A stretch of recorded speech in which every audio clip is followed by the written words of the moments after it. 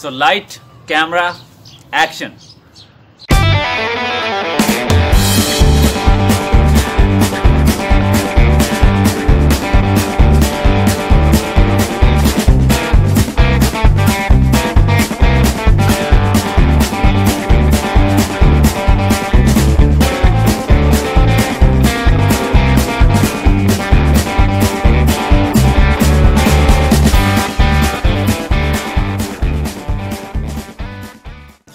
So welcome to the another episode of To the Corner and I am Satish Vidrohi. Today we are with a very renounced social activist Mr. Talib Hussain. So तालिब आपका बहुत बहुत स्वागत है हमारे programme में आसिफा के मसले पे एक गुजारिश करता चलूँ देखें ऑनरेबल हाई कोर्ट मॉनिटर कर रहा है आप मानते किसे हैं आप ऑनरेबल हाई कोर्ट को भी नहीं मानते जो हमारी पीसफुल रैली का जो इनका किया जा रहा है हमारे इसके अगराज मकासद ये हैं कि रियासती गवर्नमेंट जो कि पिछले दो साल से मौजूदा सरकार है उसने जिस तरह की जुल्म ज्यादती सुबह जम्मू के मुसलमानों पे बिलखसूस गुजर बकरवाल तबका पे की जा रही हैं और उसमें भी स्पेशली चौधरी लाल सिंह साहब जो कि फॉरेस्ट मिनिस्टर हैं, वो हमें लैंड ग्रैबर्स कहते हैं। लेकिन हमारी डिमांड ये है कि आप हमें लैंड ग्रैबर कह रहे हैं, हम सबूत के तौर पे आपको बताए दिए देते हैं कि कठुआ के अंदर बेशुमार ऐसी जगह हैं जहाँ पे चौधरी लाल सिंह साहब और उनके छोटे भाई के नाजायज कब्जे हैं। देखिए बहुत बहुत शुक्रिया सतीश भाई। अभी बेसिकली आज, कल आसिफा की डेथ फ़र्स्ट डेथ एनिवर्सरी भी है। उस पर भी हम बहुत सोगवार हैं और चलिए ऑनरेबल कोर्ट पे बहुत भरोसा भी है हमें। तो जहाँ तक ताल्लुक है मेरे एक्टिविज़म का तो ये मामला ये है जनाब कि मैं भी एक आम स्टूडेंट्स की तरह, जिस तरह से सारे स्टूडेंट्स अपनी ज़िंदगी जिया करते हैं। खेल कूद में रहते हैं, साथ में पढ़ाई जिस तरह से करनी चाहिए करते हैं। लेकिन जिस समाज से मैं आता हूँ नोमैड कम्युनिटी है जो शेड्यूल ट्राइब स्टेट के अंदर तो उनके मसाइल जिस तरह के थे और इनफैक्ट मेरे खुद की फैमिली के जिस तरह की ग्रेजिंग राइट्स नहीं थे उनके पास, जंगलों में अपने जानवरों को पाला नहीं जा सकता था। तो ये सब चीज़ें देखने की वजह से फिर जब कुछ गवर्नमेंट की पॉलिसीज़ देखी कि कोई हमारे फेवर में है नहीं तो फिर मुझे अचानक एक बार अपना फ़ैसला जो है बदलना पड़ा कि जनाब मैं भी सरकारी नौकरी लेके क्या कर लूँगा? ज़्यादा से ज़्यादा अपने ही बीवी बच्चों को और अपने ही रिश्तेदारों को ठीक कर सकता हूँ लेकिन आ, मुझे लड़ना है कि आने वाले वक्त में हमारे समाज से भी लोग पढ़ने के लिए आगे निकल सकें बच्चों को इतना मौका मिले कि वो स्कूल आ पाएँ। ग्रेजिंग राइट्स हों हमारे पास। लेकिन ग्रेजिंग राइट्स होंगे तो तभी ये बच्चे स्कूल भी आ पाएँ तो ये सारी बात होने की वजह से मैं एक्टिविज़म में आया और जहाँ तक ताल्लुक़ है मेरे काम का मैंने कुछ बहुत बड़ा काम नहीं किया। तो एमएम कॉलेज में जब था मैं ग्रेजुएशन के टाइम पे तो वहाँ पे अपने ही रिज़र्व कैटेगरीज़ के लोगों की जिस तरह से स्कॉलरशिप का बड़ा एक इशू रहता था। वहाँ से स्टार्ट हुआ और फिर गोजरी रिसर्च सेंटर जो 2013 में जम्मू यूनिवर्सिटी में भूख हड़ताल फिर एक हमारी स्टूडेंट ऑर्गेनाइजेशन साथी स्टूडेंट ऑर्गेनाइजेशन हुआ करती थी प्रोग्रेसिव स्टूडेंट एसोसिएशन उन लोगों ने हमें मिल के अगर स्ट्राइक किया और उसमें वो सारे साथी इकट्ठे थे तो फिर उसमें रेस्टिकेशन हुआ, फिर उसके बाद हमारे एक्टिविज़म का दौर शुरू हुआ। तो उसके बाद फिर जिस तरह से जब से ये सरकार आई है तो इसने इस कम्युनिटी को ब्रांडिंग करना शुरू किया कि क्रिमिनल्स हैं कभी लैंड ग्रैबर्स हैं कैटल स्मगलर्स हैं, ये हैं, वो हैं। तो वो एक नोशन लोगों में क्लियर करने के लिए कि भाई साहब ऐसा नहीं है। और जिस तरह से जम्मू के अंदर सेलेक्टिव अवेशन अवेक्शन करता है जे सिर्फ़ मुस्लिम्स को टारगेट करता है मैट्स को टारगेट करता है और फॉरेस्ट राइट में भी ग्रेजिंग राइट्स नहीं देते और फॉरेस्ट की स्मगलिंग करते हैं। तो इन सब चीज़ों को रोकने के लिए ही मुझे कदम उठाने पड़े और उसमें फ़र्स्ट टाइम हमने भेड़ बकरियाँ घोड़े जानवर कुत्ते लेके सेक्रेट का घेराव किया okay. दो साल पहले फिर मतलब पिछले साल जब लाल सिंह ने बहुत लोगों को तंग किया तो जानवर लेके लाल सिंह की कोठी का घेराव किया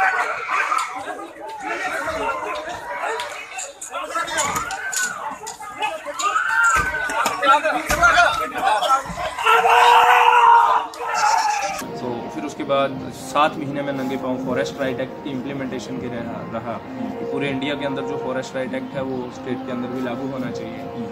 तो उसी पे सात महीने तक जब सरकार गिरी फाइनली जब सरकार गिर गई फिर समझ में आया कि अब सरकार ही नहीं है तो किससे डिमांड करेंगे?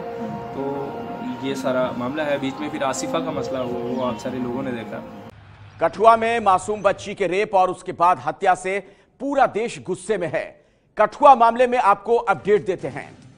बच्ची के रेप और हत्या मामले में आज सुनवाई शुरू होगी। सभी आठ आरोपियों के खिलाफ सुनवाई होगी। आपको बता दें कि सभी आरोपियों को कोर्ट में पेश किया जाएगा। और जनवरी के पहले हफ़्ते में बच्ची को अगवा कर रेप और हत्या कर दी गई थी। क्राइम ब्रांच की जाँच के मुताबिक जो जानकारी मिल रही है, रेप और हत्या की साजिश थी। घुमंतु समुदाय को इलाके से हटाने के लिए यह पूरी साजिश रची गई थी। कठुआ के एक मंदिर का रखरखाव करने वाला मुख्य साजिशकर्ता बताया जा रहा है। और साजिशकर्ता सांझी राम का बेटा, नाबालिग भतीजा भी इस मामले का आरोपी है। देखिए, ये एक इंसानियत का कत्ल था और उसमें देखिए, मैं एक चीज़ आज चूँकि कल आसिफा का एनिवर्सरी थी डेथ एनिवर्सरी तो मैं बस ये चीज़ कभी भी इससे नहीं रुकूँगा कि बहुत सारे लोग हैं इसमें, जिसमें पूरे मुल्क में लोगों ने आवाज़ उठाई। और हम तो बस मैं तो बस विसल ब्लोअर की हैसियत से एक छोटा सा सिपाही साथ में रहा। बाकी बहुत सारे लोगों का इसमें योगदान है। और स्पेशली जिस तरह से मैं एक चीज़ बता दूँ आपको कि जनाब अलोकपुरी साहब आईजी क्राइम ब्रांच थे उस वक्त। उन्होंने कहा था कि this heinous crime has done to terrorise tribal Muslim community from Samba Kathua and Jammu तो वो मैंस रिया जो है वो क्लियर होती है कि what was the intention behind this crime तो एक तो ये चीज़ होगी फिर उसके बाद आपने सारा देख लिया पूरी मूवी देखी है आप लोगों ने कि किस तरह से रेपिस्ट की सपोर्टर में सपोर्ट में एक मतलब सामने लेकर आ गए बिल्कुल बिल्कुल। एक ये साबित करने की कोशिश करी कि जनाब नहीं आ, मतलब आप आ, ये जो है देशभक्त जो हैं वो चाहे रेप करें, चाहे मर्डर करें, आप उनको रोक नहीं सकते।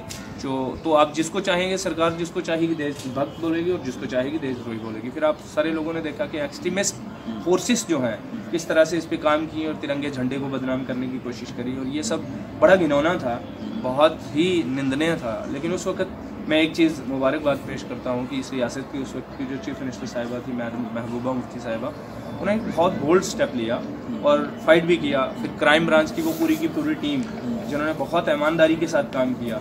और दीपिका सिंह रजावत, जिन्होंने कोर्ट के अंदर हमारी हेल्प की, जम्मू के अंदर, और फिर दिल्ली के अंदर इंदिरा जयसिंह और उनकी पूरी टीम, और फिर पंजाब के अंदर मुबीन फारूकी साहब और पुरी साहब, बसरा साहब, चोपड़ा साहब और ये सारे लोग। और जम्मू कश्मीर की पुलिस ने जिस तरह से बहुत अच्छे से काम किया नो डाउट हाँ वो इसमें भी दो राय नहीं है कि आसिफा की कत्ल और रेप केस में आठ में से चार लोग पुलिस वाले हैं, लेकिन क्राइम ब्रांच भी पुलिस का ही एक विंग है और उस वक्त के डीजी साहब जनाब क्या बोल, अपने जो इस वक्त नहीं है यहाँ पे अपॉइंटेड तो ये सारा मामला जो है एक एक तरफ़ से आपने देखा कि एक बहुत फाइट लड़ी लोगों ने।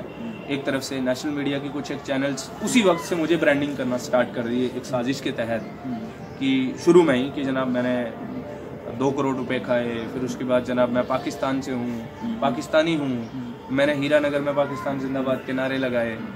आसान टूल होता है पाकिस्तान के साथ जोड़ बिल्कुल आराम से। तो फिर उसके बाद एक टाइम आया कि यहाँ का एक मंत्री जाके वहाँ पे बोलता है कि क्या हो गया? दो मंत्री जाके बोलते हैं कि क्या हो गया? हिंदू एकता मंच की रैली में।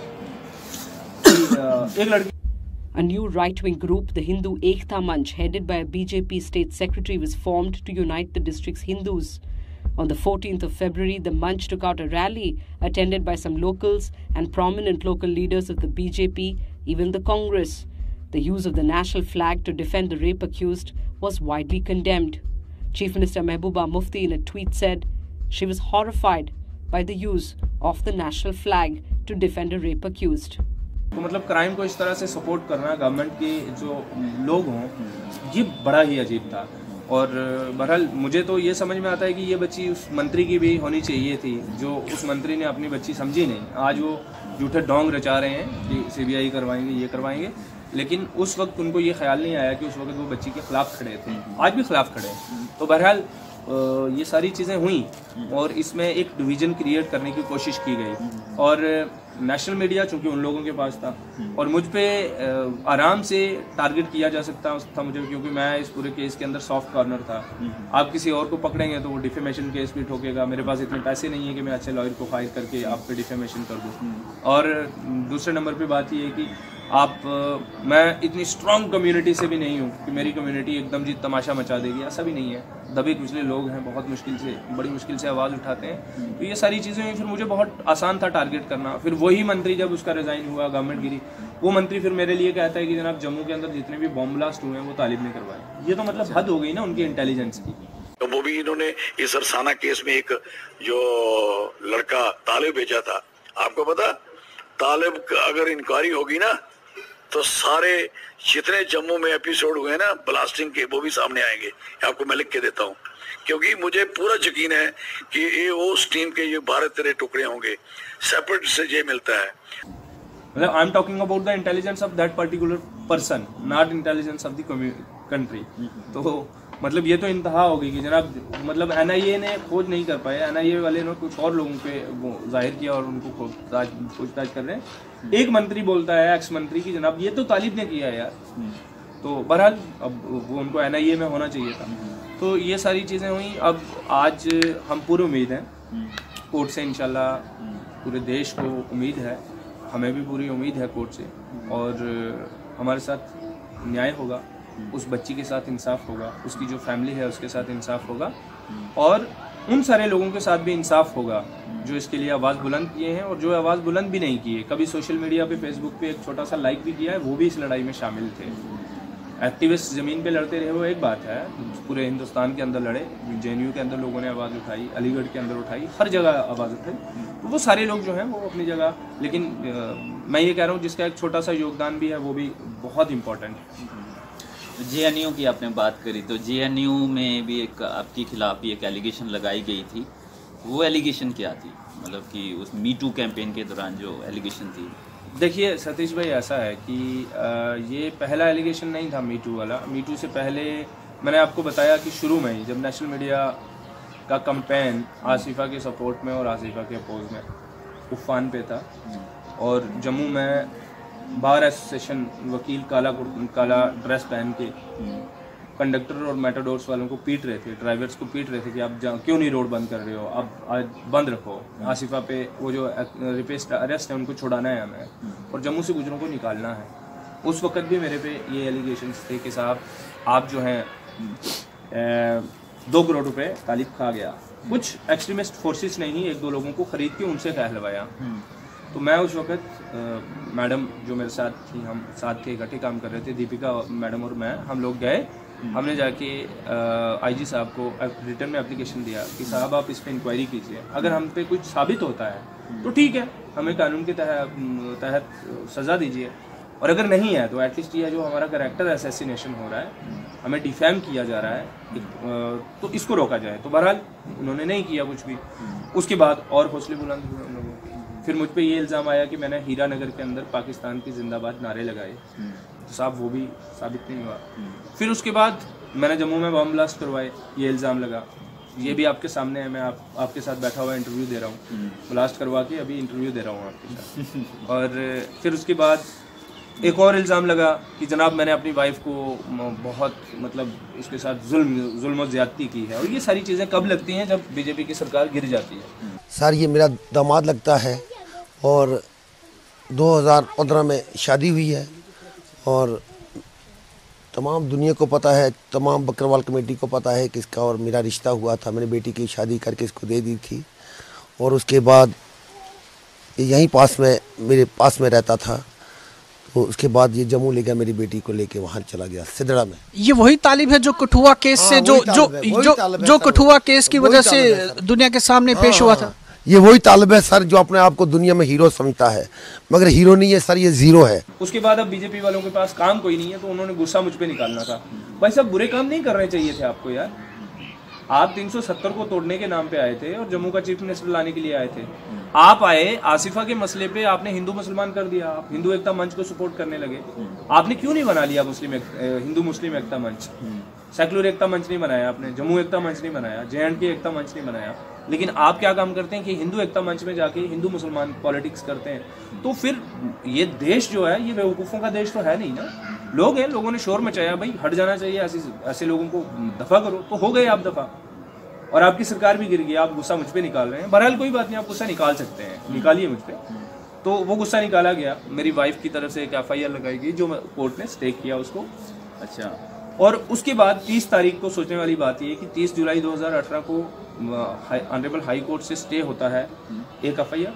तो 31 तारीख को मुझे अरेस्ट कर लिया जाता है। फिर उसके बाद मुझे पुलिस स्टेशन में ले जाया जाता है, वहाँ पे पीटा जाता है, नंगा मुझे कंप्लीट नंगा किया जाता है, कपड़े उतरवा के मुझे छत पे बारिश में रखा जाता है। दूसरे दिन मुझे खुदा जाने किस गर्ज से बॉर्डर लास्ट की चौकी पे बेंगलोर से नीचे रखा जाता है दो दिन के लिए without any F I R इकतीस को अरेस्ट करके दो तारीख तक कोई एफ़ आई आर नहीं थी।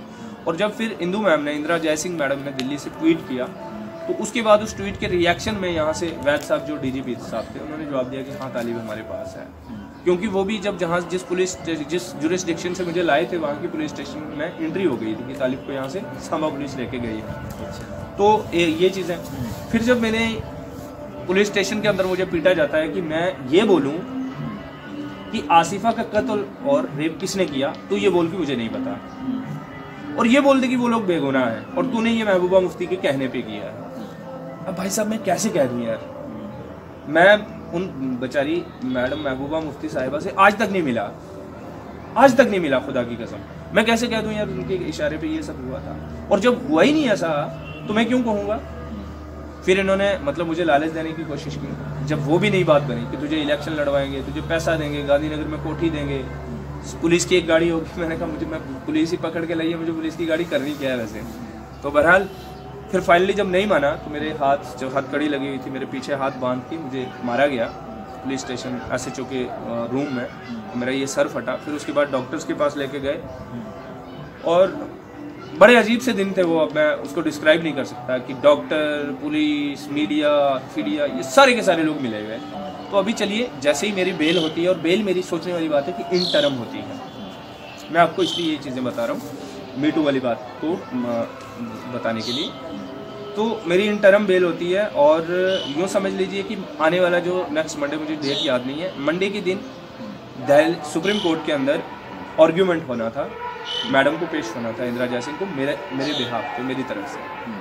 तीन उसमें मेरी पटिशन थी। सबसे पहला था कि मुझे इलीगल डिटेंशन में रखा गया अप्रूव करिए। एक, दूसरा नंबर पे था कि जनाब आपने इसको टॉर्चर क्यों किया? फ़िज़िकल टॉर्चर क्यों किया? जेल में भी मेरे पे दो बार हमले हुए। और तीसरा ये था कि जब ऑनरेबल सुप्रीम कोर्ट ने इसे सिक्योरिटी दी है, आपने इसको सिक्योर करना है। उधमपुर में इस पर बीजेपी संघ वाले लोगों ने अटैक किया, जम्मू में एक बार अटैक किया, पुलिस स्टेशन में किया, जेल में किया साहब। जेल तो कस्टडी होती है ना। And this is breaking news coming in from the Supreme Court. The top court has adjourned the hearing of a petition that was filed by Talib Hussain alleging torture by the Jammu and Kashmir police. Remember, Hussain is a key witness in the sensational Kathua gang rape and murder case, and the state government has sought more time to file an affidavit. The next hearing is to take place on 29th of August. बंदा मैंने आज तक सुना है, फ़िल्मों में देखा है कि जब कोई बहुत बड़ा गुंडा विलन विलन बाहर गड़बड़ कर देता है, उसका दूसरा ग्रुप उसका राइवल पीछे पड़ जाए तो वो बोलता है, यार, जेल चला जाता हूँ। तो जेल जाता है, बच जाता है। अब मेरे तो जेल में भी खलासी नहीं है, साहब, मैं जाऊँ तो किधर जाऊँ? मतलब इतना बड़ा मैंने क्या क्राइम कर दिया कि आप इतने मेरे मतलब आप पीछे पड़ गए, तलवारें लेके। तो अभी ये है कि जिस दिन वो पे मतलब ये इस पे बहस होनी थी मंडे को तो सैटरडे को ये मीटू वाली बात सामने आती है। अब मीटू में है क्या है? फ़र्स्ट पोस्ट पे, फ़र्स्ट पोस्ट पे ये कहानी छपी, जो मैंने भी देखी। बाद में देखी, काफ़ी टाइम बाद में देखी। लेकिन देखी क्या? कि उसमें मेरा नाम कहीं नहीं है। उसमें सर्वाइवर का नाम भी कहीं नहीं है। लेकिन एक चीज़ हुई उसमें, उसके दो रीजन थे। एक तो इंदिरा मैडम को पीछे हटाना। वो मैडम पीछे हटी हुई। वो उनकी बेचारा, चलो, उनका अपना स्टैंड है मैं उनका फिर भी बहुत शुक्रगुजार हूँ। तो दूसरी तरफ़ से ये था कि मैं जब भी मेरे पे इतना, मेरा करेक्टर असैसिनेशन इतना कर दिया जाए कि या तो समाज के अंदर मैं इतना इतना बुरे तरीके से लेनेट कर दिया जाऊँ कि कोई मुझसे बात ना करे। और दूसरे नंबर पे अगर मैं, जब मेरी गवाही है आसिफा के केस में, जितना मुझे पता है, उस चीज़ में जब मैं वहाँ पे जाऊँ तो इन्होंने क्या काम करना है कि मेरा मेरा हाथ जो होगा, हथकड़ी से बंधा हुआ होगा। जज साहब जब देखेंगे अच्छा ये बंदा तालिब जो है, ये विसल बुरवाल है, किस चीज़ का? आसिफा की केस का। अब आसिफा का केस बेसिकली क्या है बुनियादी तौर पे? रेप मर्डर तो बाद में हुआ ना? तो एक बंदा रेप का विसल ब्लोअर है। यहाँ पे रेप की वकालत कर रहा है ये। मतलब कि रेप नहीं होना चाहिए। ये लोगों ने गलत किया। और दूसरी तरफ़ खुद एक्यूज है इतने सारे रेप केसेस में। तो इसकी खुद की क्रेडिबिलिटी क्या है? ये कितना सच बोल पाता होगा? ये कितना सच्चा होगा? ये सारा मामला था। और दूसरे नंबर पे पूरे पूरी ये जो लड़ाई है ना शायद अभी और भी एलिगेशन लगेंगे। मुझे पुलिस स्टेशन में बताया गया। जब मुझे पीटा जा रहा था उससे पहले मुझे कहा कि बेटा तू क्या बोल रहा है? एक रेप का पर्चा लग गया तेरे पे जिस रेप के अंदर मैं आ, मतलब आ, रेप का एफआईआर लग के जिसपे मैं दो महीने सत्रह दिन के बाद मुझे बेल मिली। उसके मुझे वहाँ पे एक पुलिस अफसर ने कहा ताली बीस लड़कियाँ तैयार हैं बीस। तेरे पे तैयार करके रखी हुई हैं। तो एक एफआईआर से निकलेगा, दूसरी में फंसेगा, दूसरी से तीसरी में फंसेगा, तीसरी से चौथी में फंसेगा, उसमें पांचवी में फंसेगा। और ये तैयार किसने करके रखी हुई है? खुदा जानता है। और ये उसने मुझे पुलिस वाले ने कहा, मैं नाम भी ले सकता हूँ उसका। तो ये जब सारी बातें हो गई तो फिर ये सारी चीज़ सामने आना और फिर उसके बाद देखिए ना, ये मीटू वाला मसला उछाला बेसिकली किसने है? उछालें वो, अच्छी बात है। लेकिन उछाला उसी मीडिया ने है। जिसने कहा कि तालिब ने दो करोड़ रुपए खाया आसिफा के नाम पे। उसी मीडिया ने जिसने कहा कि तालिब ने हीरानगर में पाकिस्तान जिंदाबाद के नारे लगाए। उसी मीडिया ने जिसने कहा कि जनाब, तालिब पाकिस्तानी है। उसी मीडिया ने कि तालिब हुरियत का एजेंट है। उसी मीडिया ने कि तालिब को पाकिस्तान से पैसा आता है। जी। अच्छा तो मतलब अभी तक का जो पूरा का पूरा जो एपिसोड रहा ये इसमें एजेंसीज ने काम किया अपने अपने हिसाब से पुलिस ने काम किया और इन्वेस्टिगेशन भी चल रही है केस सब सब सब्जुडाइज है कोर्ट में। तो आप सेटिस्फैक्ट्री सेटिस्फाइड हैं जो भी जो भी मतलब कि उन्होंने जो भी काम किया इन्वेस्टिगेशन बिल्कुल। तरीके से? देखिए हम एक एक्टिविस्ट का और एक्टिविस्टों की टीम का काम होता है लड़ना लेकिन एक वक्त पे आके उन्हें जब महसूस होता है कि नहीं ठीक हो रहा है। देखिए अब जनाब हम एक्टिविस्ट हैं हम जब कोई अच्छा काम करता है हम उसके लिए तालियाँ नहीं बजाते। कि वो फ़र्ज़ है उस बंदे का। कोई सरकार अच्छा काम कर दे तो मेरा काम नहीं है उसके कसीदे पढ़ना है ना? लेकिन मसला ये है कि जब इस, इस तरह के मसले में हम बहुत खुश हैं मतलब सेटिस्फाइड हैं। सबसे पहले तो अदालत पे खुश हैं और अदालत से पहले क्राइम ब्रांच ने जिस तरह से अच्छे से काम किया और फिर मैडम महबूबा मुफ्ती ने जिस तरह से उनको मतलब किया और दूसरी तरफ़ से चूँकि हम कोर्ट में लगे हुए थे हम कोर्ट से भी हर हफ़्ते स्टेटस रिपोर्ट कॉल करवा लिया करते थे। तो ये सारी एजेंसीज ने जिस तरह से मिल के काम किया है ये बहुत ही गजब है और यही इंडिया है। यही इंडिया है। वो इंडिया नहीं है जो दूसरा इंडिया दिखाया जाता है वो बेसिकली इंडिया नहीं है। वो मतलब उन लोगों के मतलब तोड़ने की एक साजिश हो सकती है लेकिन असल में इंडिया ये है कि यहाँ पे आलोकपुरी साहब एडीजी क्राइम ब्रांच खड़े हो जाते हैं आसिफा के लिए। हाँ साहब यहाँ पे डीजीपी साहब वैद साहब जो थे वो खड़े हो जाते हैं आसिफा के लिए। यहाँ पे सितम्बरी मैडम जो है क्राइम ब्रांच की टीम में जो है वो खड़ी हैं आसिफा के लिए। लड़ रही हूँ रात के दो दो बजे तक नहीं सोती। रात के दो दो बजे तक काम कर रही हैं। यहाँ पे जाला साहब जो हैं वो खड़े हो जाते हैं। यहाँ पे दीपिका सिंह रजावत खड़ी हो जाती है। यहाँ पे इंदिरा जय सिंह खड़ी हो जाती है। यहाँ पे संगीता मदान खड़ी हो जाती है। यहाँ पे बसरा साहब और पुरी साहब और चोपड़ा साहब पठानकोट में खड़े हो जाते हैं। तो ये वो मुल्क है। अ, मैं ये कहना चाहूँगी कि बहुत ही शर्मसार है कि आज के आधुनिक युग में 21वीं सदी के भारत में जब इस तरह की बातें हों तो उससे शर्म से सिर झुक जाता है। जब आपके आदरणीय प्रधानमंत्री का ये गोल है, बेटी बचाओ, बेटी पढ़ाओ, और जब यहाँ पे एक हैवानियत से मारी गई एक छोटी कन्या, एक कंजक, मैं कहूँगी, उसको इंसाफ दिलाने के लिए एक पड़ी हुई लड़की जब कोशिश करती है तो उस लड़की की का, काबिलियत का तिरस्कार किया जाता है। यहाँ पे एक्टिविस्ट खड़े हो जाते हैं। यहाँ पे आप पूरे इंडिया की यूनिवर्सिटीज को ले लीजिए जम्मू यूनिवर्सिटी की बात कर लीजिए। तो ये वो मुल्क है जहाँ पे एक बच्ची को बच्ची समझा जाता है। लेकिन वो लोग चाहते हैं कि एक बच्ची को मुस्लिम समझा जाए एक बच्ची को शूद्र समझा जाए एक बच्ची को मलीज समझा जाए और एक बच्ची को हेट के काबिल समझा जाए। तो ये उनका अपना मानना है लेकिन मुल्क जो है मुल्क मेजोरिटी के लोगों से चलता है और मुल्क जैसे चला है वैसे ही चलेगा। रीजनल ग्रुप्स की बात करते हैं हम जम्मू की बात करते हैं पर्टिकुलरली जम्मू में। हिंदू एकता मंच बन जाता है। मोड़ सारे लोग चलेंगे स्वाभिमान डोगरा स्वाभिमान रैली।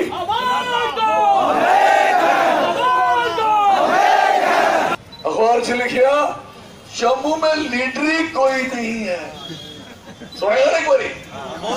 ये आखे जम्मू में तो लीडरी कोई नहीं है। अन्य होए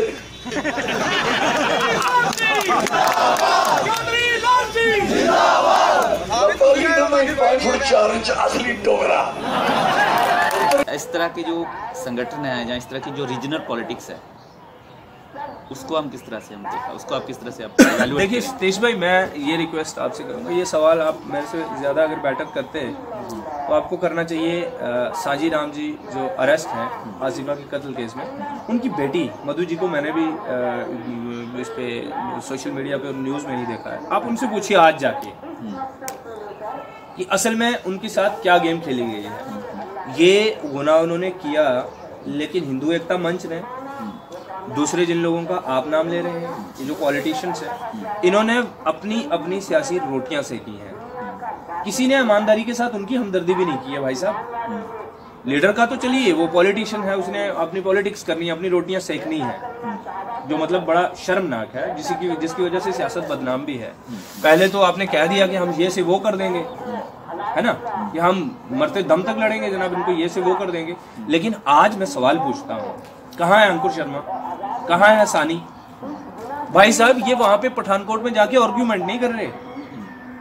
आपको नहीं पता होगा और मेरे सांबा कठुआ, जम्मू के समाज को भी नहीं पता होगा। ये सानी साहब कभी कभी आ जाते हैं टीवी पे कभी कभी आ जाते हैं सोशल मीडिया पे। और अंकुर कभी कभी आ जाते हैं जम्मू एकजुट हो जाओ गुजर गुजरई कटना जम्मू चा। डेमोग्राफी चेंज हो रही है। मुसलमानों से खतरा हो गया है। मुसलमानों से खतरा हो गया, उसको छोड़ो मेरे भाई। जो आठ लोग अरेस्ट है ना, जिनके नाम से आपने पैसा लिया हुआ उन गरीबों से, उनके लिए वकालत करो ना यार जाके तुम पठानकोट। कोई एक वकील नहीं जाता इनमें से। एक जाते हैं कोई वर्मा साहब। ये तो वहाँ से भाग आए हुए हैं। और इन्होंने जब देखा कि वहाँ पे इनकी नहीं चली, काम तो अपना करना था ना भाई। तुमने पैसा लिया, नहीं लिया। लेकिन तुम वकील, मैं, आप आप मेरे वकील बन जाते हैं। तो आपका फ़र्ज़ बनता है। आप पैसा लेते हैं कि नहीं लेते? आपका फ़र्ज़ बन जाता है मेरी वकालत करना। और एड़ी चोटी का ज़ोर लगाना कि मैं बचूं। है ना? या तो आप पहले ही बोल देते कि नहीं ये वो, लगता है हमें इन्होंने रेप किया हुआ हम साइड हो जाते हैं। आपने पैसा भी ले लिया। आपने लोगों में माइलेज भी ले ली। उनके नाम पे मतलब अपना उन लोगों के दरमियान में अपना शहीदों में नाम दर्ज भी करवा लिया और बाद में काम भी नहीं किया। अब भाग भी गए। सानी साहब वहाँ से भाग के मेरे पीछे पड़े हुए थे। तालिब ने ये किया जी तालिब ने वो किया। अब भाई तेरा टॉपिक तालिब नहीं है ना। आपका टॉपिक तालिब नहीं है। आपका टॉपिक तो वो है बेचारे जो जिनकी जिनकी आपने फ़ीस ली है। और आप मीडिया में बोलते फिरते हैं कि हमने कुछ चवन्नी भी नहीं ली। आज उनकी फैमिली से पूछिए जरा जाके। देखिए, मैं क्यों ये बातें कह रहा हूँ? आज हिंदू एकता मंच, आदि पैंथर पार्टी के पास चली गई, आदि स्वाभिमान संगठन के पास है। ठीक है? ये लोगों को सोचना चाहिए। लोगों को सोचना चाहिए जो लोग इनको सपोर्ट कर रहे हैं। और दूसरे नंबर, चौधरी साहब। चौधरी साहब शुरू में बड़ा धाड़ रहे थे, आया आया, शेर आया। आज क्या हो गया शेर को? आज फाइनली शेर भी बोलता है कि सीबीआई नहीं होगी। तो क्यों झूठे ख्वाब दिखवाए थे लोगों को? लोगों को खुला छोड़ देना था ना यार, वो अपने लेवल पे बेचारे लड़ते। तुमने हिंदू मुसलमान डिवाइड भी करने की कोशिश की, जो हुए नहीं। हुए नहीं, मैं मैं कठुआ भी जाता हूँ, मैं हीरानगर मुझ पर झूठा एफआईआर जो लगाया हुआ है कि आसिफा जिस दिन हमने प्रोटेस्ट किया था तो मैंने 700 बंदे लेके पुलिस स्टेशन पे अटैक कर दिया। है ना? जैसे मैं कोई श्रीलंका से आया हुआ था। तो ठीक है, उसमें मैं जाता हूँ अपनी हेयरिंग पे, साबा भी जाता हूँ, लोग मिलते हैं। वहीं के लोग मिलते हैं, और लोग जानते हैं, लोगों को पता है ये पॉलिटिक्स खेल है। हमने तो अपना सर, मैं एक एक्टिविस्ट हूँ, मुझे तो आसिफा के लिए लड़ना था ना। मैं साजी राम की और दीपक खजूरिया के लिए थोड़ी ना लड़ता। आप उस तरफ़ से खड़े हुए थे, लेकिन आपने ईमानदारी नहीं बरती। आपने लास्ट में लोगों को इकट्ठा किया वोट बैंक पॉलिटिक्स शुरू कर दी और अभी बोल दिया कि हाँ ठीक है, कोई गल नहीं। अब क्या करेंगे लोग आपका साथ देके? मतलब फ्यूचर में कोई इस तरह का मामला होगा, तब आप नहीं होने देंगे। क्या गारंटी है आपके पास? क्या गारंटी क्या है आपके पास, भाई साहब? और इन्होंने धोखा दिया है कुल मिला के। और आज जिस तरह से ये बना रहे हैं ना फ़र्स्ट ऑफ़ ऑल तो इन्होंने ये जो चौधरी साहब हैं, इनकी ये जो डोगरा स्वाभिमान संगठन है, ये बीजेपी का बी टीम की तरह काम कर रहे हैं। ये बीजेपी की बी टीम ही है।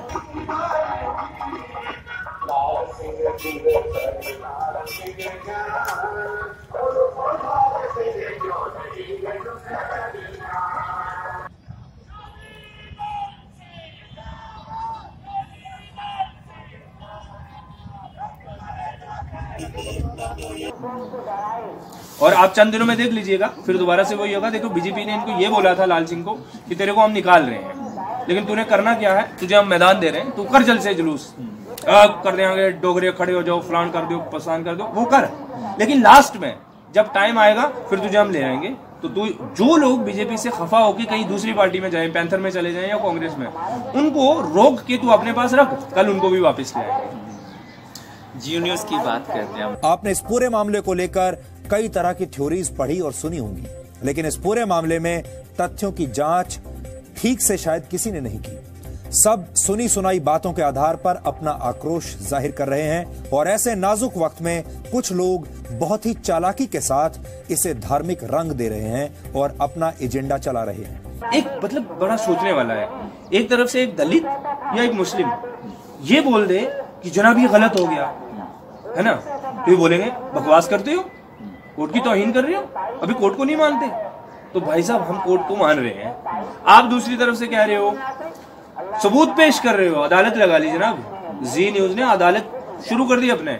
मतलब उसको उनको चाहिए कि ये सारी अदालतें करें बंद और जी न्यूज़ पे बैठाएँ और मोदी जी को बैठा दें सुपर जज सुप्रीम कोर्ट का टॉप जज बना दें चीफ जस्टिस आपकी अदालत आपकी अदालत टाइप बनाए और जिसको चाहे फांसी दें कन्हैया को फांसी दे दें उमर खालिद को भी फांसी में मार दें और जिसको जो उनके साथी हैं उनको मार दें अभी चंद्रशेखर जी हैं उनको मार दें मेरे को भी सूली पे चढ़ा दें और मेरे साथ माथे पे ये भी लिख दें कि ये पाकिस्तानी है।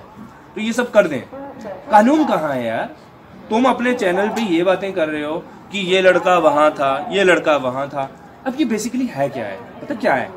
ये बेसिकली सोसाइटी के अंदर एक नैरेटिव बिल्ड करने की कोशिश होती है। एक तरफ़ से एक नैरेटिव है, एक सच्चा नैरेटिव है। सच्चा नैरेटिव ये है कि आसिफा का कत्ल हुआ, आसिफा का मर्डर हुआ और आसिफा का रेप हुआ और एक बंदे ने रेप नहीं किया गैंग रेप हुआ।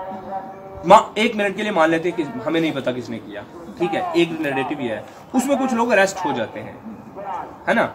अब सारा समाज जो है सोचता है हाँ बच्ची के साथ गलत हो गया। चाहे मतलब चाहे जिस मर्ज़ी कोई आइडियोलॉजी का हो, कम अज कम बच्चियों के मामले पे आगे थोड़ी सी तो इंसानियत आती होगी उसकी। एक मिनट के लिए आती होगी। तो जब वो आती है तो उस वक्त संग परेशान हो जाता है कि यार, यहाँ तो गेम खराब हो गई। क्योंकि मैं अलोकपुरी वाली आलोकपुरी साहब वाली जो बात बताई थी ना मैंने, इसके पीछे बहुत बड़ी पॉलिटिक्स है। इनको जम्मू में बहुत सारे दंगे करवाने थे।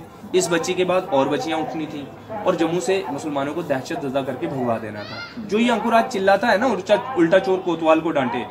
मैं कहता हूँ, मैं आपके चैनल पर कहता हूँ। अंकुर को मैं एक बात कहता हूँ। आप अंकुर साहब बहुत बड़े आदमी है, बहुत जम्मू एकजुट कर लिया आपने। आप एक मेहरबानी कर लीजिए। आप आइए जरा मेरे पास साथ डिबेट में आ जाइए। आप मुझे साबित करके दे दीजिए डिबेट पे कि जम्मू की डेमोग्राफी मुसलमान चेंज कर रहा है कि जम्मू की डेमोग्राफी आरएसएस चेंज कर रहा है? जिस नैरेटिव की आप मतलब जिस कंपेन की आप बात कर रहे हैं तो वो एक नैरेटिव था बेसिकली ताकि ताकि जो एक एक तो उस टाइम तो ये था कि सुप्रीम कोर्ट में हो सकता है सीबीआई इनको मिल जाए। तो चलते चलते चलते जब फाइनली सीबीआई ने, सुप्रीम ऑनरेबल सुप्रीम कोर्ट ने कहा कि आज के बाद तुम सीबीआई सीबीआई नहीं करोगे। तीन बार पिटीशन डाल चुके। कभी एक दरवाजे से कभी दूसरे से कभी तीसरे से। कभी एक बहाने से कभी दूसरे तीसरे से। आशीष कोहली का भी तो यही रहा है। आशीष कोहली हम सुना जेके चैनल वाले जो न्यूज़ एंकर हैं। तालिब हुसैन का सच। कुछ देर पहले आपने देखा हमारा लाइव वीडियो जिसके अंदर हमने आपको बताया तालिब हुसैन का सच क्या है।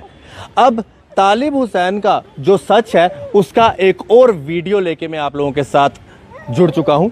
कहूँगा, बस यही कहूँगा एक वर्ड है उनके लिए कि बस भाई साहब, आशीष भाई हमारे भाई हैं, लेकिन काश की वो जर्नलिज्म करते हैं। वो रेप कर रहे हैं जर्नलिज्म का।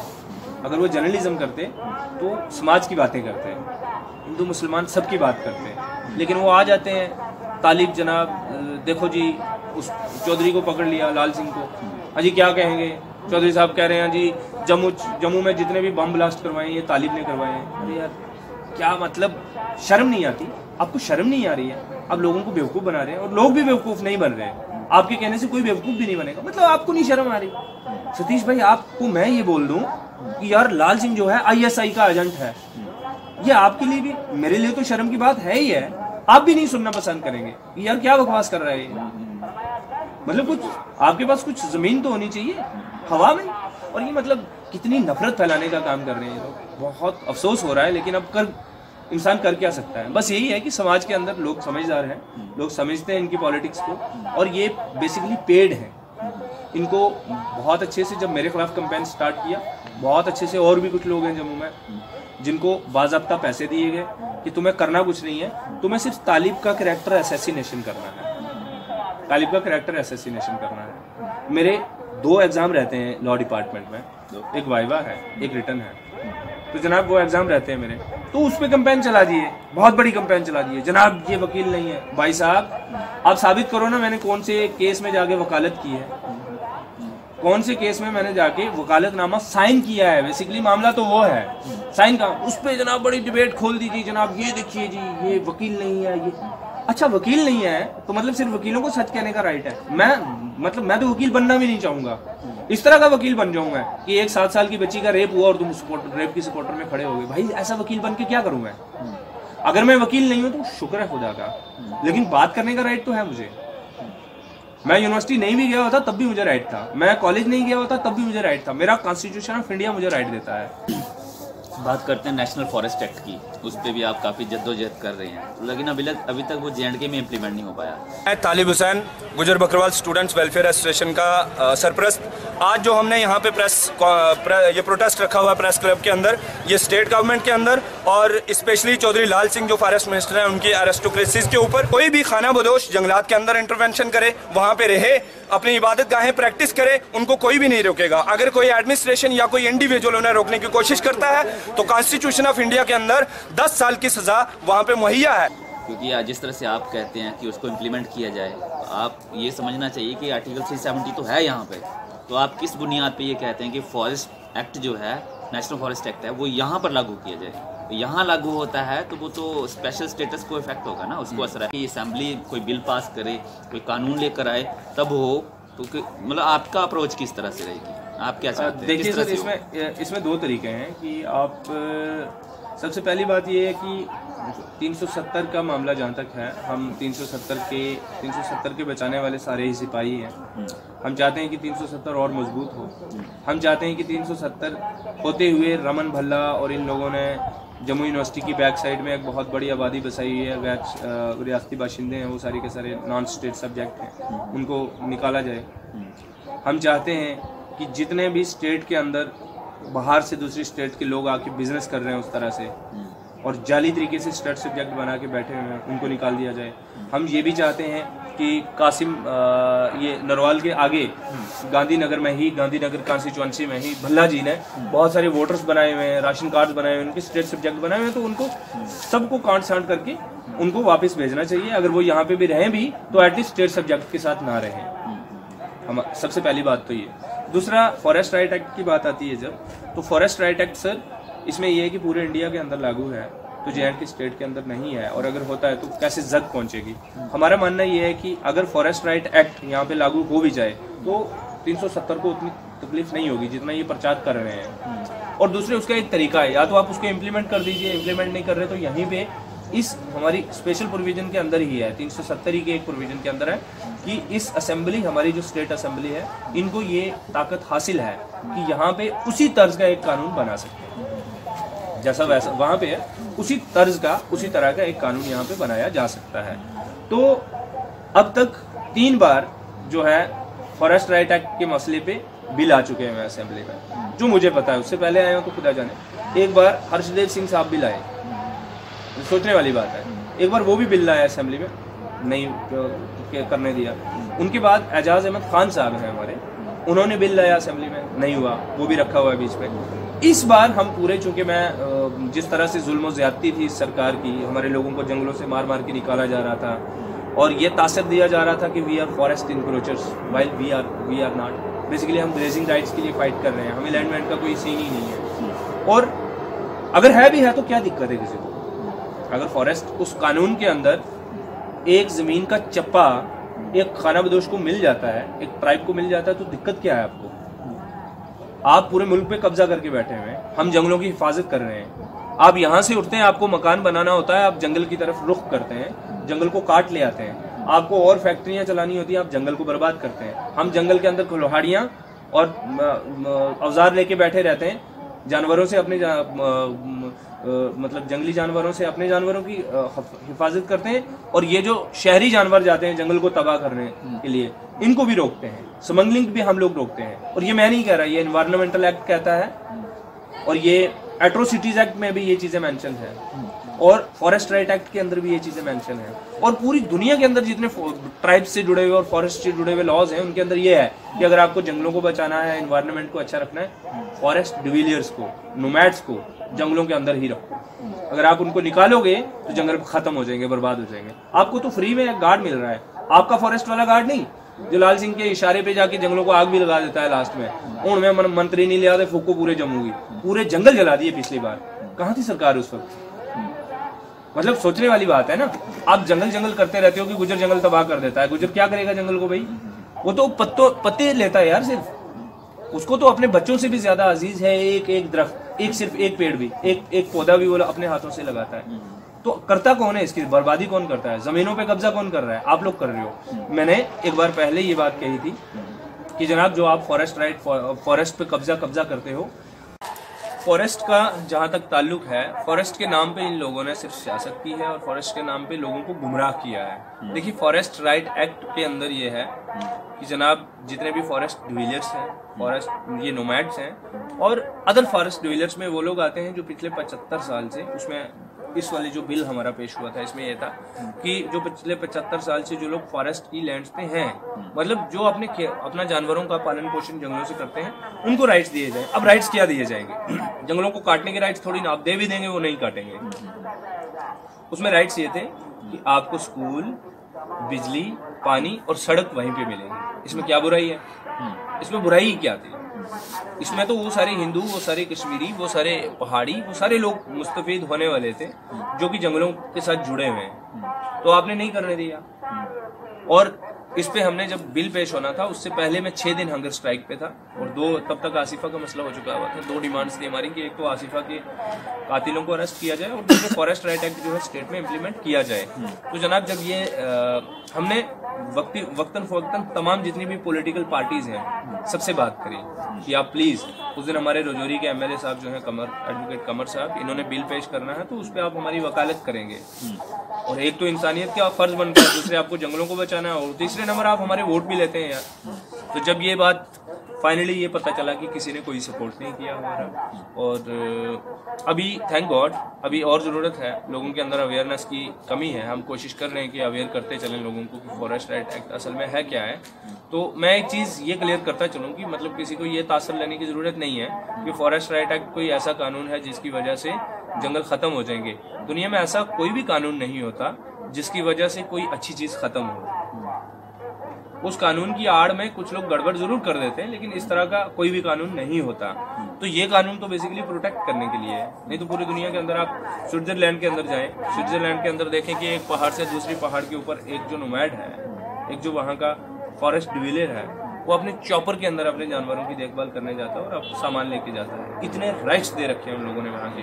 और देख लीजिए मुल्क कितनी तरक्की कर रहा है। वो उनके जंगल देख लीजिए। यहाँ पे जो बेचारे फॉरेस्ट डिविलर्स हैं, जो नोमैड्स हैं, उनको जूतों, जो आप जूते मारते हो उनको खाने, खाना खाना खाने के लाले पड़ रहे हैं और उनको एक एक निवाला, निवाले के लिए उनको, उनके बच्चे तरस रहे हैं। और फाइनली आप उनकी बच्चियों का रेप भी कर देते हैं। और फिर हेट क्राइम उनके रिलीजन की बुनियाद पे आप उनको फिर जंगलों से निकालते हैं कि ये बुरे हैं, ये जंगल को बर्बाद कर देंगे।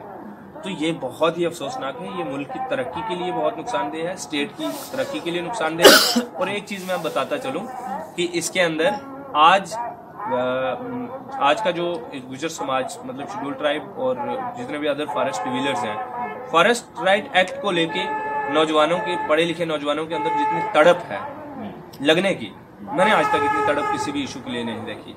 और मुझे पूरा उम्मीद है, मैं पूरा यकीन रखता हूँ कि मालिक ने चाहा तो अनकरीब जो है फॉरेस्ट राइट एक्ट स्टेट के अंदर इनेक्ट होगा। इम्प्लीमेंट इंडिया वाला ना भी करें तो कोई बात नहीं। यहीं का जो हमारा बिल है, उसी को इनेक्ट कर दें। तो या तो कोई फॉरेस्ट पॉलिसी बनाए उस तरह की तो ये बहुत अच्छा रहेगा। 2019 की बात करते हैं इलेक्शन की बात करते हैं। तो क्या तालिब हुसैन एक सोशल एक्टिविस्ट से आगे बढ़कर क्या पॉलिटिकल एक्टिविस्ट की तरफ़ बढ़ेगा? मतलब कि वोट बैंक पॉलिटिक्स की तरफ़ जाएगा? और अगर जाएगा तो किस पार्टी का दामन थामेगा या इंडिपेंडेंट लड़ेगा मतलब क्या आपकी आप में क्या प्लान है आपके फ्यूचर कोर्स ऑफ़ एक्शन को लेकर? हाँ सतीश भाई ऐसा है कि जैसे हर इंसान आज़ाद पैदा होता है आज़ाद सोच के साथ पैदा होता है बाद में करप्ट कर लिया जाता है लेकिन मुझ पे मेरे मालिक का कर्म यह है कि मैं आज़ाद पैदा हुआ था और आज भी आज़ाद हूँ और आज़ाद ही रहूँगा।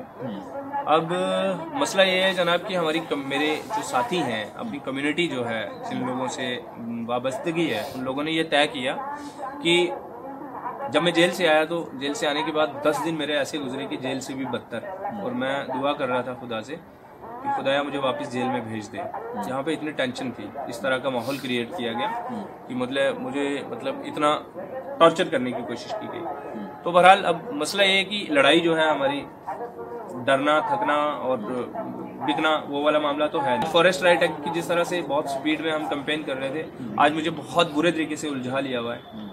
कि जनाब अब करना पड़ता है। बात भी करूँगा इनके उलझाने से उलझूँगा नहीं डरूँगा नहीं। लेकिन अब मसला ये है कि सारी चीज़ें मुझे देखनी है। मुझे कोर्ट में नहीं जाऊँगा। कोर्ट में अगर नहीं गया तो वारंट निकल के मुझे जेल दोबारा भेज दिया जाएगा। है ना? तो ये अब मजबूरी सारे लोगों ने यह तय किया कि हमें अब फाइनली जो है इलेक्शन की तरफ़ बढ़ना चाहिए। और इलेक्शन में जीत के अगर खुदा मौका देता है तो असेंबली के अंदर भी ये लड़ाई जारी रहेगी। मतलब लड़ रहे हैं फिर इलेक्शन हाँ बिल्कुल बिल्कुल। मैं इलेक्शन इंद्रवाल से लड़ रहा हूँ जो आपके डोडा डिस्ट्रिक्ट डोडा और आधा डिस्ट्रिक्ट किश्तवाड़ में है। वहाँ से इलेक्शन लड़ रहा हूँ। मैं इंडिपेंडेंट कैंडिडेट हूँ वहाँ से। और खुदा का लाख लाख शुक्र है कि कम्युनिटी बहुत अच्छे से और वहाँ का जितना भी वोटर है, वो बहुत अच्छे से इन चीज़ों को समझता है। क्योंकि बहुत ज़्यादा धोखे हुए हैं हर जगह पे वहाँ पे तो कुछ ज़्यादा ही हुए हैं। तो ये मसला है, मैं इलेक्शन कंटेस्ट कर रहा हूँ। चलो, हमारी तरफ़ से बहुत बहुत शुभकामनाएँ हैं आपको। और आप उम्मीद करते हैं इन आप जीतें और इन मसलों को उठाएँ, आम जनता के, जनमानस के मसलों को उठाएँ और इसी उम्मीद के साथ आपसे विदा लेते हैं। और साथियों जो ये प्रोग्राम के साथ जुड़े हुए अभी तक यहाँ तक पहुँच चुके हैं तो कोई भी ऐसा सवाल हो जो मुझसे पूछना चाहते हो या तालीब के लिए कोई सवाल छोड़ना चाहते हो तो कमेंट बॉक्स में लिख सकते हैं। और हम लोग जुड़ेंगे और जवाब ज़रूर देंगे। और प्लीज़ चैनल को सब्सक्राइब कर लीजिए। हर काम प्लीज़ मोदी पे मत छोड़िए। मोदी और, मोदी जी और कितना ही काम करेंगे। थोड़ा काम आप लोग भी कर दीजिए और चैनल को सब्सक्राइब कर दीजिए। शुक्रिया।